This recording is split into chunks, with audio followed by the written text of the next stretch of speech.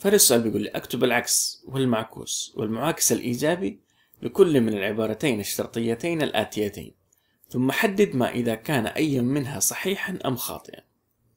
وإذا كان خاطئا فأعطي مثالا مضادا.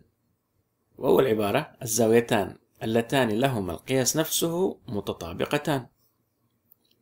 أول شيء خلينا نكتب العبارة الشرطية في صورة إذا كان فإن. نقول إذا كانت الزاويتان لهما القياس نفسه فإنهما متطابقتان. طبعا نعرف أن الفرض والنتيجة صحيحتين فبالتالي العبارة الشرطية صحيحة. طب نجيب العكس. كيف نجيب العكس؟ لو فاكر في الدرس قلنا نجيب العكس بأننا نعكس العبارة نروح من النتيجة إلى الفرض يصير نقول إذا كانت الزاويتان متطابقتان فإن لهما القياس نفسه. طيب هنا نلاقي إنه الفرض والنتيجة صحيحتين فبالتالي العبارة صحيحة. نجيب المعكوس. كيف نجيبه؟ ننفي الفرض وننفي النتيجة في العبارة الأصلية. تصير العبارة إذا لم يكن للزاويتين القياس نفسه فإنهما غير متطابقتين.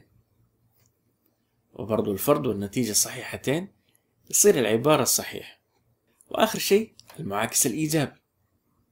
فاكر كيف نجيبه؟ نمشي من النتيجة للفرض وننفي الاثنين. تصير العبارة إذا لم تكن الزاويتين متطابقتين فلا يكون لهما القياس نفسه. والعبارة دي برضو حتكون صحيحة. العبارة اللي بعدها يقول الفأر من القوارض. طيب نكتب العبارة أول شيء في صورة إذا كان فإن.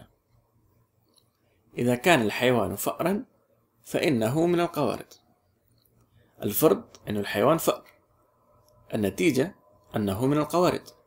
الفرض هنا صحيح والنتيجة برضو صحيح. يصير العبارة الشرطية صحيح. نجيب العكس. يروح من النتيجة إلى الفرض. إذا كان الحيوان من القوارض فإنه فأر. صحة العبارة؟ العبارة دي خاطئة. والمثال المضاد إن الأرنب مثلا من القوارض لكنه ليس فأر. إذن العبارة زي ما قلنا خاطئة. نجيب بعدها المعكوس. ننفي الفرض والنتيجة. إذا لم يكن الحيوان فأرا فإنه ليس من القوارض. مرة أخرى عبارة خاطئة. نستخدم نفس المثال المضاد. الأرنب ليس فأرا ولكنه من القوارض. وآخر عبارة المعاكس الإيجابي. نجمع العكس والمعكوس. نروح من النتيجة إلى الفرض وننفي الاثنين. إذا لم يكن الحيوان من القوارض فإنه ليس فأر والعبارة صحيحة لأننا نعرف أن المعاكس الإيجابي مكافئ منطقيا دائما للعبارة الأصلية والعبارة الأصلية هنا صحيحة يصير المعكوس الإيجابي صحيح.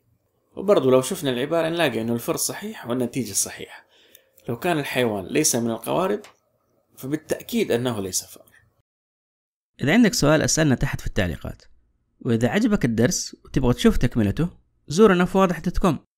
واشترك معنا عشان تقدر تشوف جميع الدروس وحلول جميع الأمثلة وجميع مسائل تحقق من فهمك مشروحة بطريقتنا البسيطة والسهلة. وتقدر تتواصل معنا وتسألنا أي سؤال وإحنا حنجاوبك عليه.